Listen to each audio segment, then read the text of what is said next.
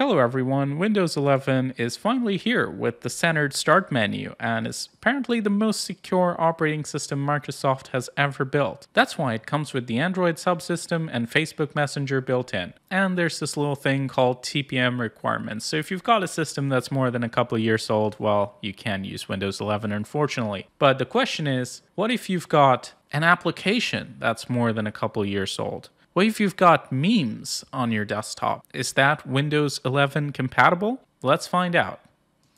And apparently it runs just fine. Windows security is happy, no action needed. But what if I click on random error sounds? Can we be treated to that? And yes, apparently we can have random error sounds in the full glory of Windows 11. Notice those new sounds, very nice, aren't they?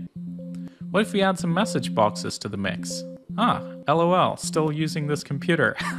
but we can do better than that. Let's reverse the text.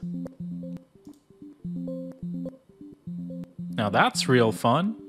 What if we add some, um, you know, flashing screens? That's always good. And some screen glitches and the tunnel effect and error icons. Yes. Now this is more like it. This is the design that Windows 11 should be going for.